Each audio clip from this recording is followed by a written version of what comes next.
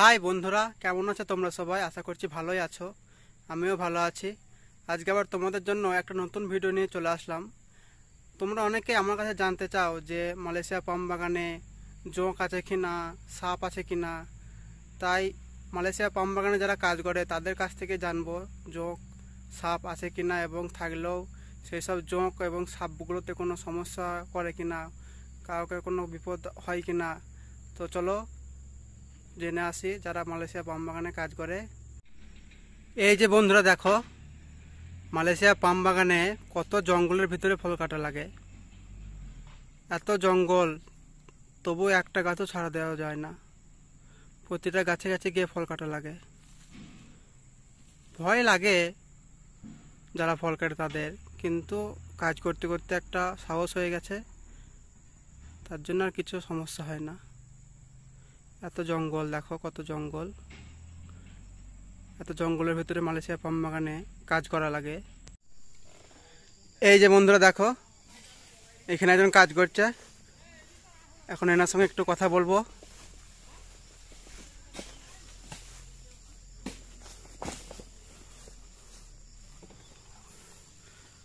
কেমন আছেন ভাই? ভালোই আছি ভাই। তো আপনার নাম কি? আমার নাম মোহাম্মদ বজলুল শেখ। বাড়ি কোথায় আপনার? বাড়ি নাজির না থানা মুজিবনগর জেলা মেহেরপুর। বাংলাদেশ নাকি? বাংলাদেশ।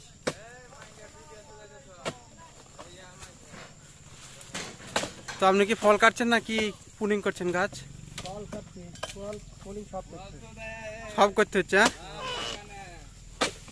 বাগানে সবই করছি। তবে এই মালয়েশিয়াতে এই পাম বাগানের কাছে কতদিন আগে আসা হয়েছিল? পাঁচ বছর? আচ্ছা ভাই আপনি যে ফল কাটেন মাসে কত বেতন পান? মাসে পঁচিশশো তিন হাজার চার হাজার। এই মালা রিঙ্গি চার হাজার? হ্যাঁ। ও। তা আপনি যে এত জঙ্গলে কাজ করছেন ভয়টা লাগে না?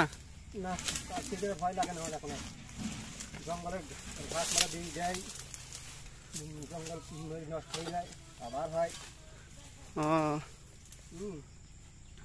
তো জঙ্গলে সাপ টাপ তো অনেক দেখা যায় নাকি? সাপ সাপ থাকবে জঙ্গলে। আচ্ছা এই জঙ্গলের মধ্যে যে সাপ টাপ অনেক দেখা যায় মানে সাপ টাপ দেখতে দেখতে পান আপনারা? সাপ দেই সাপটা কি হেলতে ফেলতে সাথে এখন সাথে লেগে থাকে। অনেক সময় কাটা পড়ে যায় হ্যাঁ? ও।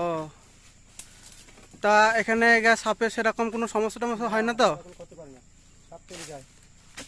কাজের আওয়াজ পেলে চলে যায় হ্যাঁ?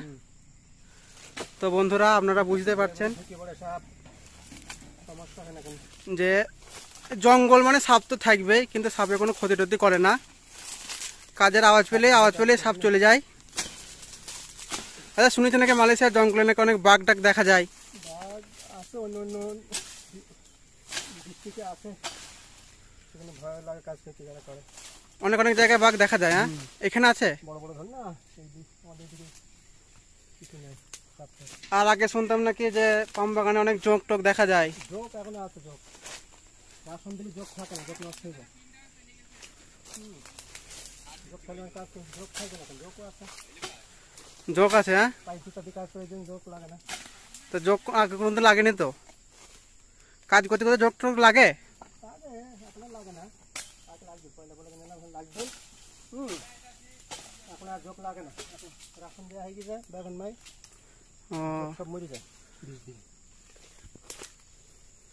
তো আগে শুনতাম নাকি যারা পাম বাগানে কাজ করে তাদের নাকি সকালে আসার সময় ইঞ্জেকশন মারে? আবার যখন রুমে যায় তখন নাকি ইঞ্জেকশন মারে। ফালতু কথা। তাহলে যারা যারা নতুন মানে মালয়েশিয়ায় পাম বাগানে কাজে আসতে তারা তো অনেক ভয় পাচ্ছে যে বাঘ ডাক থাকে সাপ টাপ থাকে জোঁক থাকে। কোনো ভয় নেই। কাজ করতে সব সাহস যায়। মানে সাপ টাপ দেখা যায় কিন্তু কোনো ক্ষতি করে না। আচ্ছা দেখলাম না হুম। তাহলে পাঁচ বছর আসা হয়েছে মালয়েশিয়া পাম বাগানে। বাড়ি কবে কতদিন পর যাওয়া হবে? বাড়ি সামনে বছর যাব তেইশ সাল। তেইশ সালে? হ্যাঁ। ছ বছর কমপ্লিট করে? হুম। বাড়ির জন্য মন টন খারাপ করে না? মন খারাপ করলে বেড়ালে শুনবে নাকি? মন খারাপ করে বেড়ামে শুনবি না? কাজ করতে মন খারাপ করলে হবে। সে তো বটেই থাকতে সেখানে ওকে দু টাকা তাই ফল কাটিয়ে মাসে মাসে মোটামুটি বাংলাদেশে খাওয়া দাওয়া হাত খরচ সব কিছু বাচ্চার দিয়ে কত টাকার মতো যায়? চল্লিশ হাজার পঁয়তাল্লিশ হাজার আগে শুনিতে নাকি যে এক লাখ আশি হাজার এরকমও পাঠায়? এই পাঁচ ছ পঞ্চাশ হাজার ষাট হাজার এরকম যায় না মাসে? যায় কত যায় কত যায় না। গাছ বেশি যায় বড় গাছের কম গাছ বেশি দেয় সেখানে টাকা বেশি হয়। ছোট গাছে কম বেতন হয়। আচ্ছা।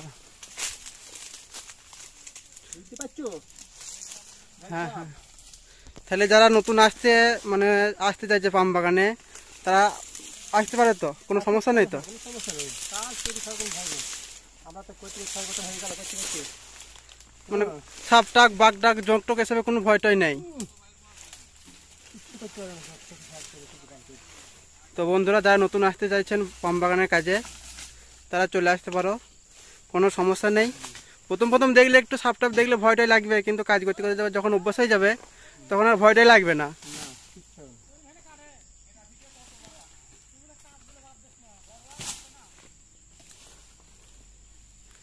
তো বন্ধুরা, আজকের ভিডিওটা এই পর্যন্তই। দেখা হচ্ছে পরের ভিডিওতে। আজকের মতো বাই